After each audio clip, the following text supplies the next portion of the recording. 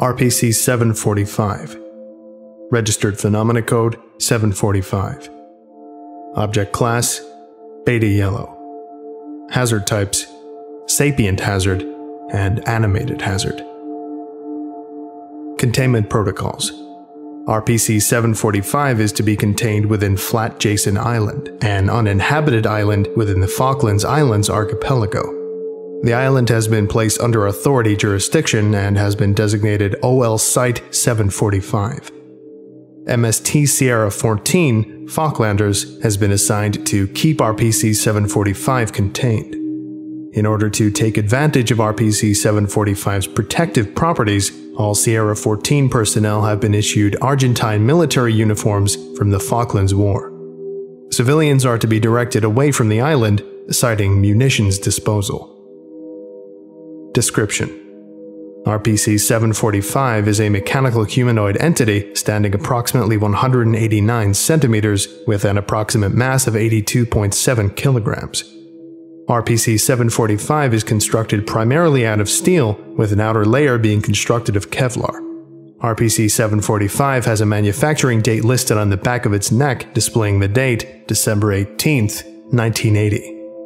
RPC 745 is sapient and is capable of fluent speech, perceiving sights and sounds, and fluid movements. RPC 745 requires no power source to function.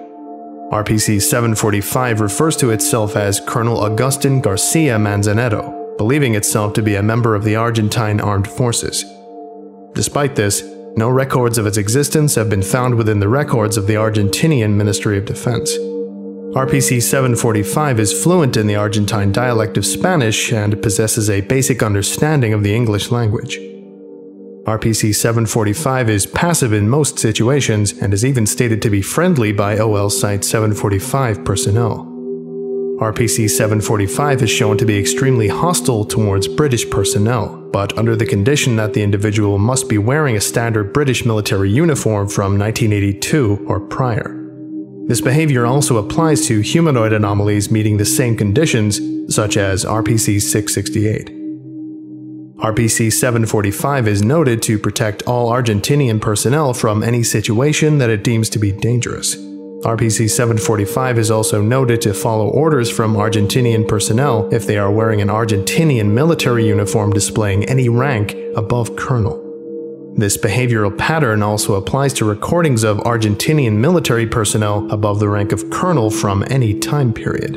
It is unknown how RPC 745 identifies the ranking of personnel from these recordings. Discovery RPC 745 was discovered on May 31, 1982, during the skirmish at Top Malo House on Mount Simon Island in the Falklands Archipelago. During the skirmish, Argentine forces observed RPC 745 attacking British forces. Upon Argentinian victory in the skirmish, RPC 745 was noted as celebrating by Argentine private Sergio Martinez. On June 1, 1982, the Argentinian government contacted the authority about RPC 745. RPC 745 was then recovered with all surviving combatants being administered amnestics. Test log 745 1. Date April 13, 1983. Procedure 10 CSD personnel were sent to OL Site 745. Upon entry, they were all given British military uniforms and unloaded L1A1 SLR rifles. One of the CSDs was reported to be from England. RPC 745 was then taken in front of the CSD personnel and given an Argentine military pattern FAL with 10 rounds of ammunition. Results RPC 745 was seen raising its rifle. RPC 745 then fired a round into the head of the English CSD before putting the rifle down. RPC 745 then attempted to communicate with the remaining CSD. After proving to be unsuccessful, RPC 745 left the area. Test log 745 2. Date March 7th, 1985. Procedure Researcher Alvarez was given an Argentine general's uniform for this test.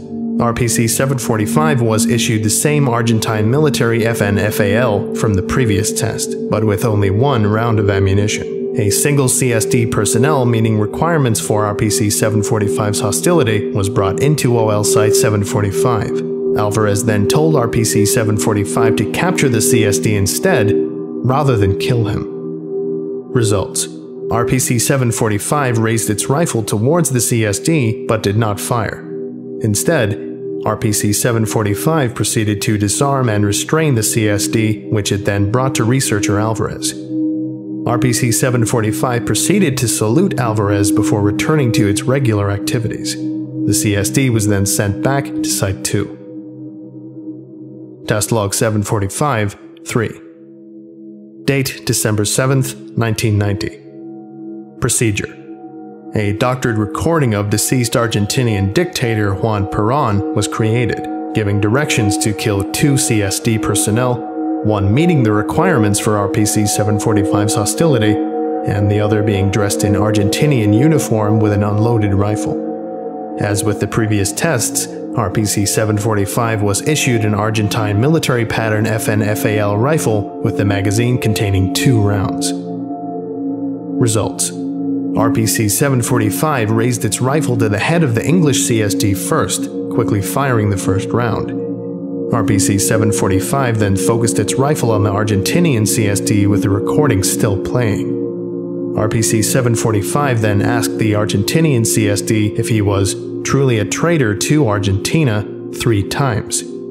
Upon the CSD giving a reply of no three times, RPC 745 shot the speaker playing the recording. RPC 745 then left the area, returning to its normal activities. And this is a recovered journal entry dated May 31st, 1982. It would be another day of this war as usual if it hadn't been for one event. When we were fighting the English, something wearing our uniform helped us. It called itself Colonel Agustin Garcia Manzaneto. Looked like something out of a low budget science fiction propaganda piece. Hell, Galtieri'll probably steal this idea. After it helped us fight the British, it celebrated its victory with us. It was rather nice to us. We were not freaked out after the skirmish knowing that the machine was on our side. Hell, Diego even made friends with the thing. Whoever reads this is gonna think I'm crazy. Private Sergio Martinez, Argentinian Army.